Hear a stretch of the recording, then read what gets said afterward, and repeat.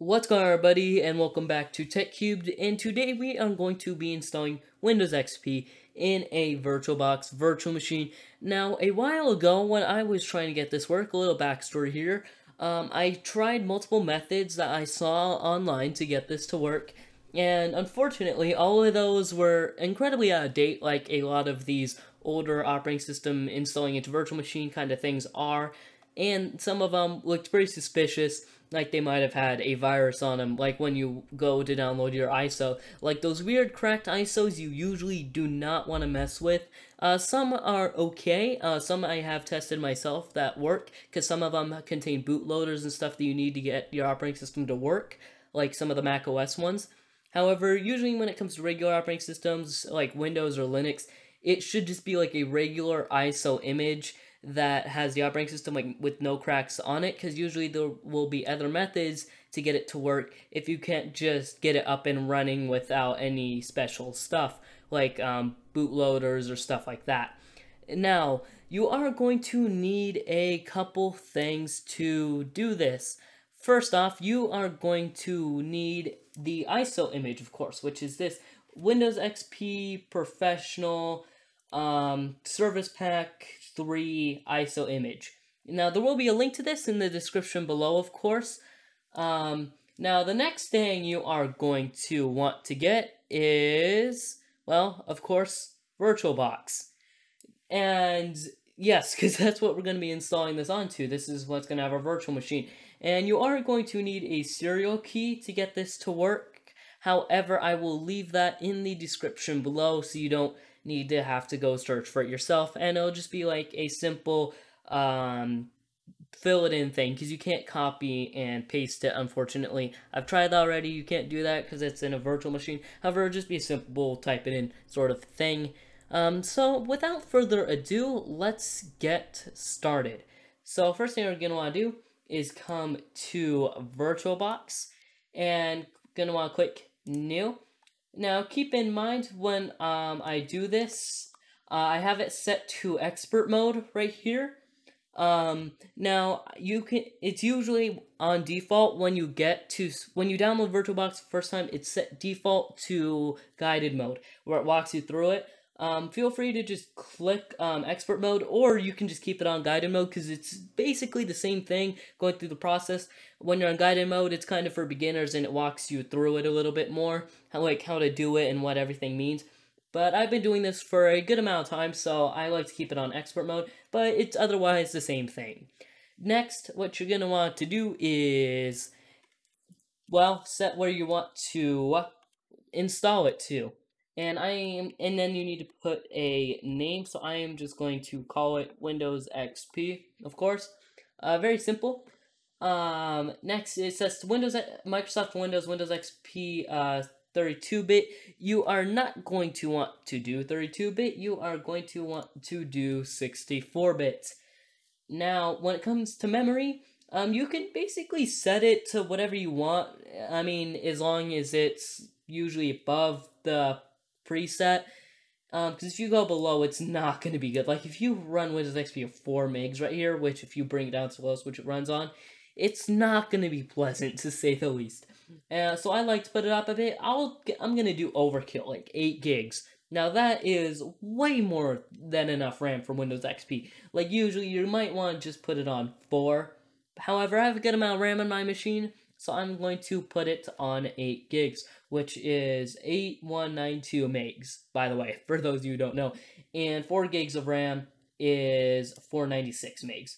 So that's just kind of explaining that, because you might be confused by that if you've never done this before. But anyway, this one I'm going to set mine to. Um, and next, I'm going to create virtual hard disk now. I'm going to click create.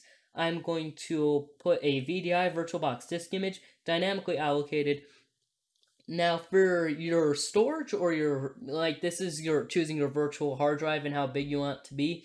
Um, I'm going to set mine, I'm going to be pretty generous here. I'm going to give it 64 gigs. Way more than enough than you probably need. But um, I have a pretty decently sized secondary hard drive on my computer, which I keep all my virtual machines and stuff on. So I'm going to keep it on 64 gigs. You probably only need to put I mean, 10 is a default, would probably do just fine, but if you want to install some like the older software or some of the older games and stuff that you can't run on modern machines, then yeah, 64 gigs or even more. Like you can put up to 120 gigs. I'm not because while I can do it, it's a little overkill, especially since I'm not going to be doing incredibly much with it. I'm going to do a little bit, but not incredibly much. But it's really up to you how much storage you want to put on there. Um, now I'm going to do create. Alright, now you'll see this right here. But before we do that, we want to change some simple settings. You can start this up and it'll ask you to insert the disk image and you can just do that. Um, however, there are some settings that I recommend you change. You can start it up now and we'll go from what, what happens when we start it up. But um, I recommend you change a couple settings. So first, I'm going to come to System, and I'm going to put, and I'm going to go into Processors, and I'm going to put two processors. That'll help out a ton in this machine. Now, Windows XP, I think, was one of the last major operating systems where you can get away with a single core processor because multiple core processors really came around with Windows 7 because that's when you had your multi-core Athlons for the first time from AMD and your Intel Core 2 series. That's it came out around then. So that Windows XP is really the last operating system you can get away in at least the Windows line anyway with only one processor. I don't really recommend it though, especially since we have Service Pack 3 eh, which is way more updated, even though Windows XP is not getting updates anymore because it's very old. It's like 20 years old at this point. However, we are on Service Pack 3, which was an updated version, at least for the time. Next, I'm going to come to display. I am going to up my video memory to 128 megs. Don't have to do that. Again, it makes the experience way, way better. Next, for VirtualBox VGA or VBox VGA, um, yeah, I, I just leave it like that. Um, now for storage, now this is the most important part. You want to come to storage, click on empty. Next, you're going to want to click choose a disk file and then go to that same place that you kept your um, or you downloaded your Windows 7 ISO to. Usually it's going to be in your downloads folder, uh, but I have a separate folder I keep all my ISOs and stuff like that. So I'm going to select it, Windows XP Professional, and I'm going to click Open. Next, I'm going to click OK. And now we are finally ready to start. It's been a well, it's taken a good amount of time to do this, of course, to get to this point, but we are doing it the correct way.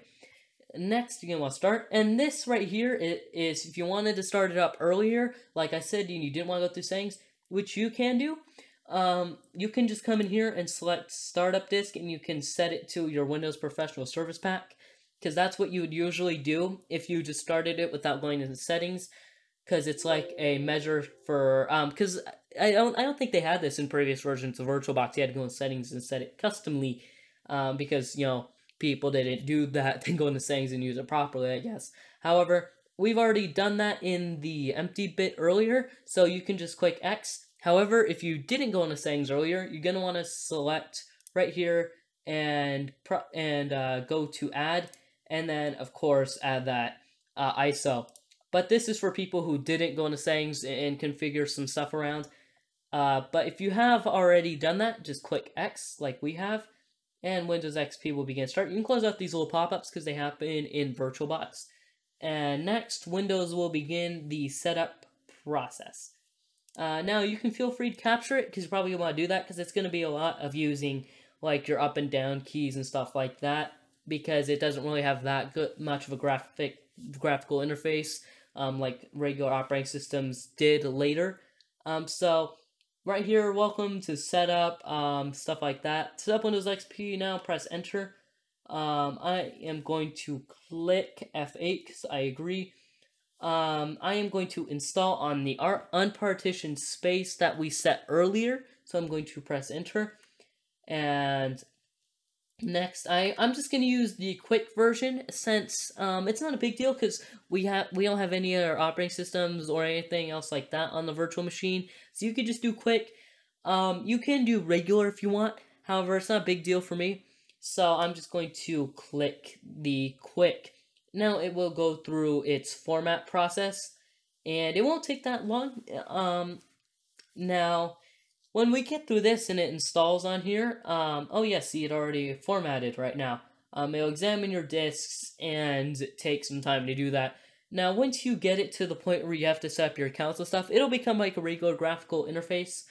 Um, however, right now it's just a basic uh, setup process. Now it's moving pretty quick since we're using very modern hardware to do this.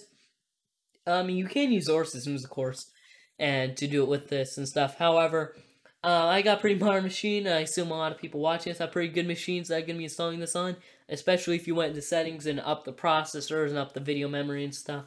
Um, so yeah. Um, and yeah, it's moving pretty fast though, because we're using a modern machine.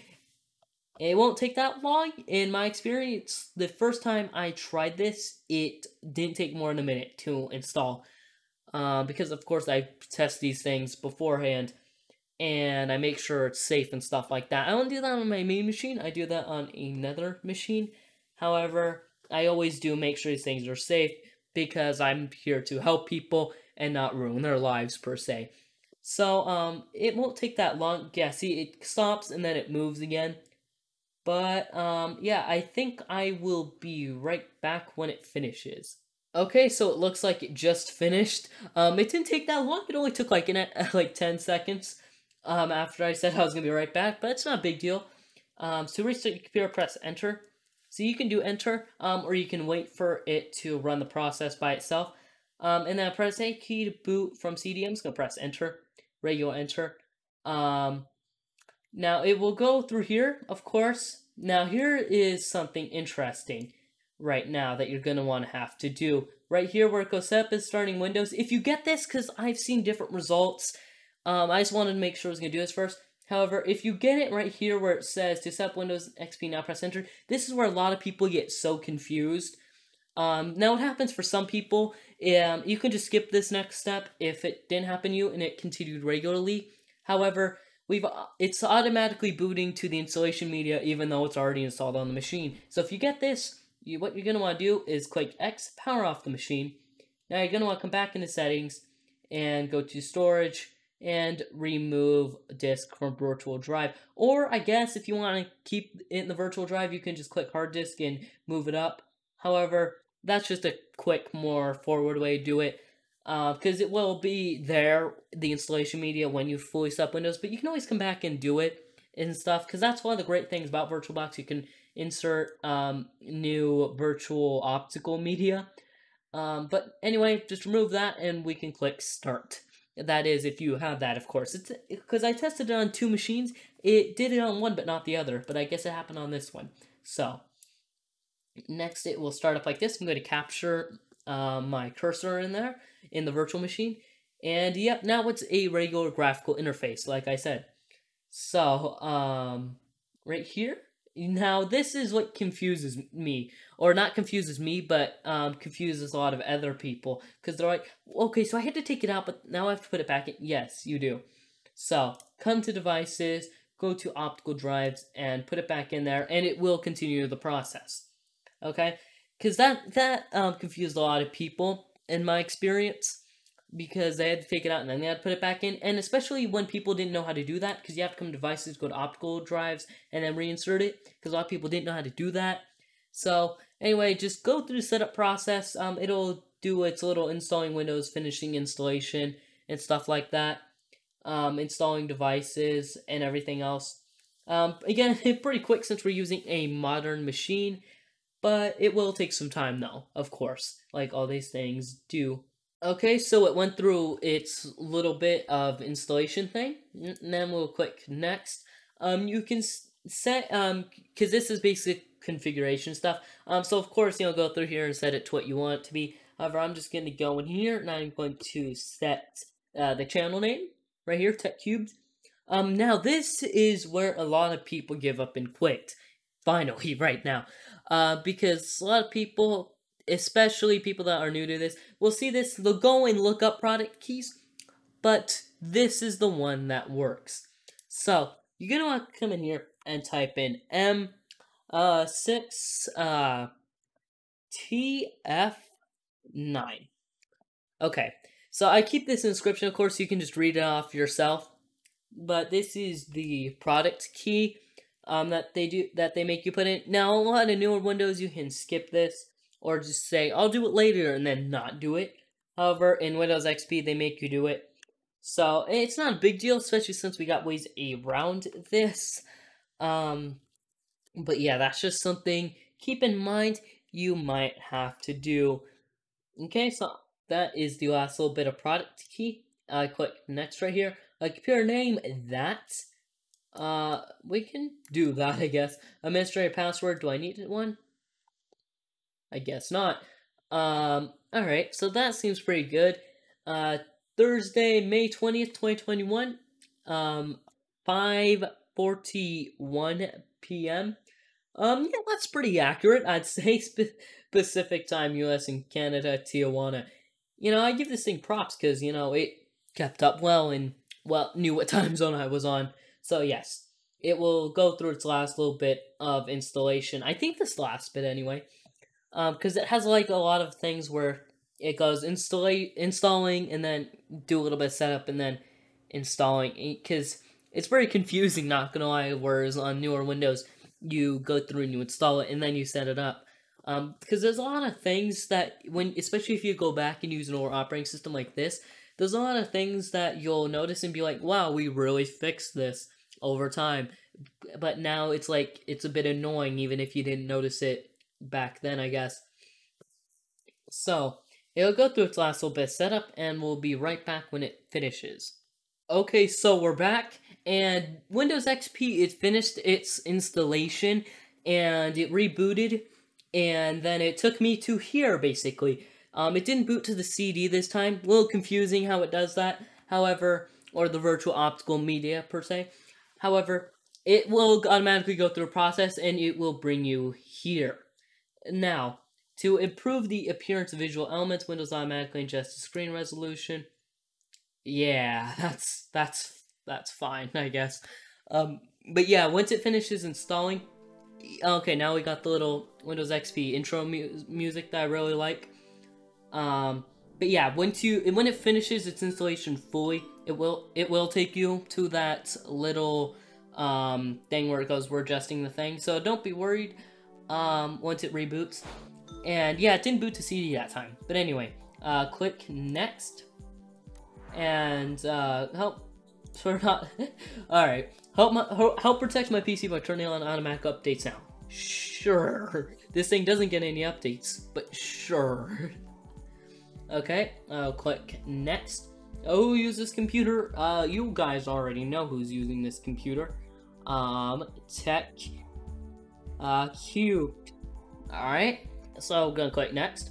Uh, thank you, you're ready to go. Um, learn about the exciting, uh, oh yes, that that booting up sounds classic.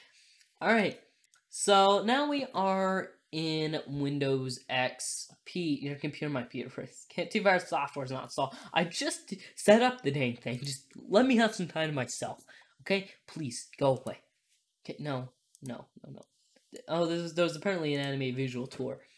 Oh, but yes. So this is basically it is we are finished installing Windows XP. Now, there are some things you can go and do. In fact, let me, if I can do it, let me try and go to the control panel. And can I set it up to use a 16 by 9 aspect ratio? Maybe. Okay, so uh, let's do more. I, it goes 1600 by 1200. Um, I don't think so. I, it, uh, let's see, um, 1024 by 768. Yeah, so I think these are 19 by 10 resolutions, or not 19 by 10, but uh, 16 by 10, because uh, I want to use it in a 16 by 9 aspect ratio. Um, so yeah, I, I, there are drivers that um, I recommend you go get. Um, I will try and link a page in the description that lists all the basic drivers that is recommended that you should get. Um, I might make an extra video about setting up all your Windows XP drivers. Um, if you guys want it, you, you can let me know, like in the description stuff. However, it's kind of a lot of extra setup that you just don't have to do, especially now since everything's fully up and running.